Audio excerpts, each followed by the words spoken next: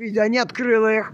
Что начинаете опять со скандала с возвращением на мороз. Видео закрыты, они не открыты. С 15 тысяч, я вам на 3 видео, ведь мы закрыли уже в 4 утра.